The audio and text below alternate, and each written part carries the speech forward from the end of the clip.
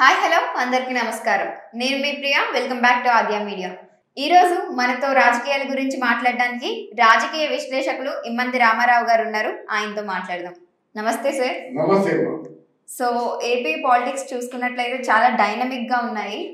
BJP party అయితే party నుండి ఒక్కొక్కరు కూడా బయటకు వచ్చేస్తున్నారు అనమాట అసలు పార్టీ అధికారంలోకి వస్తుందా లేదా అనేది పక్కన పెడితే పార్టీ ఉంటుందా ఊడిపోతుందా అనే సిచ్యువేషన్ వచ్చింది. ఈ తరుణంలో పురంధేశ్వరి గారికి అధ్యక్ష స్థానం ఇచ్చారు బీజేపీ పార్టీ వాళ్ళు. ఇప్పుడు బీజేపీ పార్టీ అధికారంలోకి వచ్చే ఛాన్సెస్ ఏమన్నా ఉన్నాయా? ఈవిడి పార్టీలోకి రావడం వలన. ఆర్ లేకపోతే ఈవిడి పార్టీలో అడుగు పెట్టారు కాబట్టి ఇది పక్క పార్టీలకి ఏమైనా తగ్ తగ్గించే అవకాశం ఉందంటారా? అంటే వాళ్ళు పడిపోయే అవకాశం ఏమన్నా ఉందంటారా?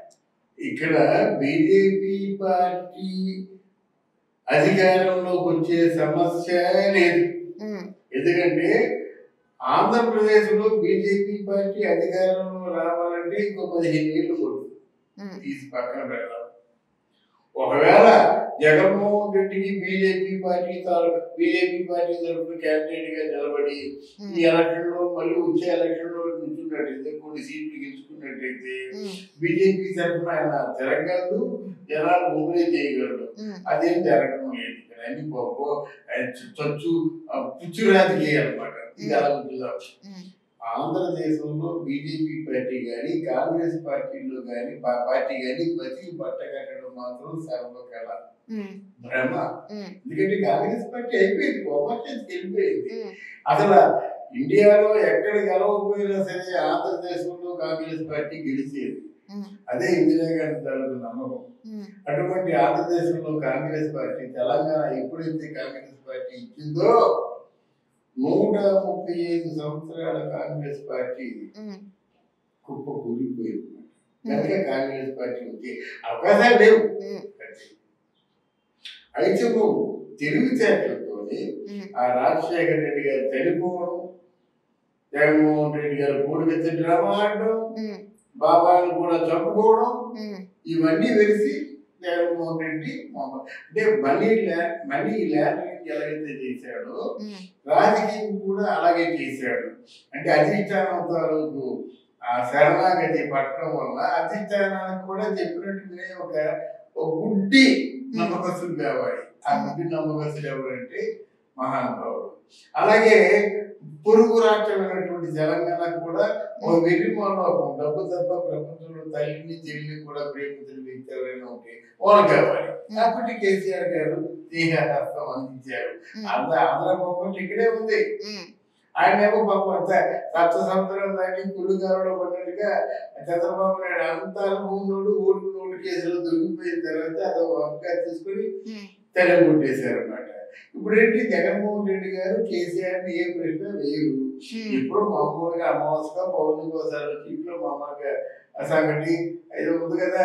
రకరకాల మత్తు మాంసాలు తినేసి హాయిగానే చీకటి ఇచ్చుకొని వెళ్ళిపోతుంటారు అనమాట అది. అందువల్ల ఇక్కడ వైఎస్ఆర్ కాంగ్రెస్ పార్టీ వల్ల కూడా ఎవరికి ఏ నష్టం లేదు. ఆయన పార్టీ ఆయన తాలూకు అధికారమే చూస్తారు అనమాట ఉమ్, ఇంకా మిగిలింది ఏంటంటే బీజేపీ పార్టీ. బీజేపీ పార్టీని ఏదో పైకి తీసుకొద్దాం అనుకుంటున్నారు. వాళ్ళకి చేరని వెళ్ళి ఏమిటంటే ఇండియా అంతా సాధించాం కానీ బీజేపీ పార్టీ సౌత్ ఇండియన్ ఎందుకు సాధించలేకపోతున్నాం అనుకున్నారు. సౌత్ ఇండియన్ ఏంటి? కర్ణాటక. మన కాంగ్రెస్ గెలిచిందా? అవును ఆమ్, తమిళనాడు డిఎంకే గెలిచిందా? ఉమ్, బీజేపీకి ఎక్కడ? పుట్టగతులు లేవు కదా. పోనీ ఇక్కడ బీజేపీ పార్టీ ఏదో పైకి వస్తుంది వస్తుంది వస్తుంది. దీనికి ట్వంటీ ఫైవ్ థర్టీ పర్సెంట్ ఓట్లు ఉన్నాయి. అనుకునే సమయంలో ఇక ఏంటి కొన్ని కొన్ని పని మాల పనులు చేయడం. అంటే జనాలు వేరెత్తి చూపించే పనులు చేయడం. ఆ స్కామ్ కేసీఆర్ కూతురు ఎంపీఆర్ ఓటింగ్ చేసినట్టయితే ఎందుకంటే పనిష్మెంట్ ఇవ్వలేదు? అలాగే అవినాష్ రెడ్డి చంపించినట్టు ఎందుకంటే పనిష్మెంట్ ఇవ్వలేదు ఇలా పనిష్మెంట్ ఇవ్వకూడదు నీకు ఏదో ప్రత్యక్షంగా నీకు నష్టం జరగదు. అవినాష్ రెడ్డికి ఎందుకు ఆ ఆ శిక్ష వేయలేదంటే డైరెక్ట్గా నష్టం జరగదు. కానీ ప్రభుత్వం మీద ప్రభుత్వ యంత్రాంగం మీద కూడా విశ్వాసం సన్నగిలుతుంది ఇప్పుడు ఏం చేశాడు బిఆర్ఎస్ అన్నాడు. ఇప్పుడు ఏం చేశాడు కేసీఆర్? అనుకు నేను అంటాడు అనమాట బీజేపీ పార్టీ కేసీఆర్. ఇద్దరు ఉమ్, ఇద్దరు కూతురు రక్షించుకోవాలి అక్కడ అవినాష్ రెడ్డిని రక్షించుకోవాలి తనదాన్ని రక్షించుకోవాలి ఇద్దరు నువ్వు ఎప్పుడైతే నీతో బాయ్ అన్నారో నీ తాలూకు ఇల్లు తగ్గిపోతుంది కదా? నీ తాలూకు స్నేహం కానీ నీ తాలూకు అండగాని అపూర్వంగా ఉండాలి కానీ ఉమ్, ఏదో వచ్చినవాడు చెయ్యంత మాత్రంలో ఏదో కొండకి కూర్చున్నట్టుగా ఫీల్ అయితే ఎలా ఉంటుంది ఇంతకుముందు బీజేపీకి ఇప్పుడు బీజేపీ పార్టీకి ఎక్కడ పొందనా లేదే. ఇప్పుడు ఎంతో మోదీ అంటే అమ్ము అమిత్ అంటే అమ్ము అనుకున్నారు. ఇప్పుడు ఏముంది? ఎవరిలో కలుస్తారు. రేపు పొద్దున ఎవరైనా మంచి అమ్మాయి హీరోయిన్ ఉంది మంచి ఫాలోయింగ్ ఉందంటే ఎవరు వచ్చేస్తారు అమ్మా మీకు తాను సపోర్ట్ కావాలమ్మా అంటారు అంటే భారతదేశానికి కేంద్ర ప్రభుత్వంలో అధికారం ఉన్నప్పుడు కూడా ఓ ఫాలోయింగ్ ఉందంటే కలుగుతారన్నమాట. అది అంత తెలియదైపోయింది ఈ రోజు రాజకీయం? అది తప్పని చెప్పడం లేదు వాళ్ళు తెలిసిన రాజకీయం అది. కనుక ఈ రోజు పురంధరేశ్వరిని ఆంధ్రప్రదేశ్లో చైర్మన్గా పెట్టారంటే మీదికి లెస్ నా దృష్టిలో ఏమిటంటే కన్నా లక్ష్మీ లక్ష్మీనారాయణ గారు బీజేపీ పార్టీని ఎంత ఉద్ధరించారో. సోము వీర్రాజు గారు బీజేపీ పార్టీని ఎంత ఉద్ధరించారో? ఈవిడ అంతే ఉద్ధరిస్తుంది. తర్వాత ఆవిడ ఎలాగమ్మా నాన్నగారు స్థాపించిన పార్టీ తెలుగుదేశం పార్టీని దెబ్బతీయమని నిన్ను ఉసుగొలిపితే నువ్వు వెళ్తావా? అదే ఈ ఈ ఈ విలువలేంటో నాకు అర్థం కావడం లేదు.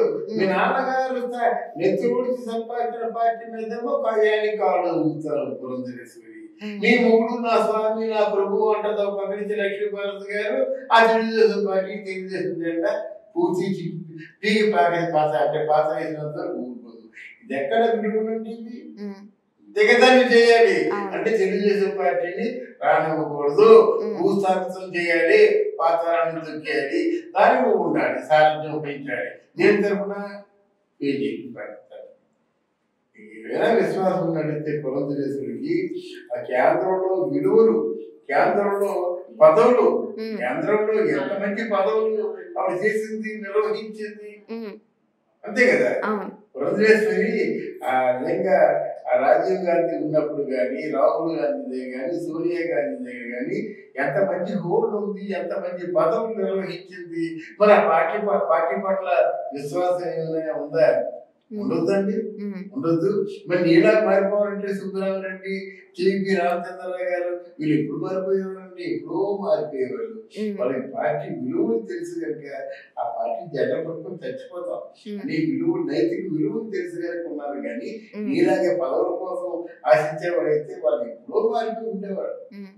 కనుక పురంధరేశ్వరి బీజేపీ పార్టీ అధ్యక్షురాలుగా ఉండడం వల్ల ఊరికేది ఏమీ ఉండదు. ఇంతకు ముందు ఒకసారి జరిగింది.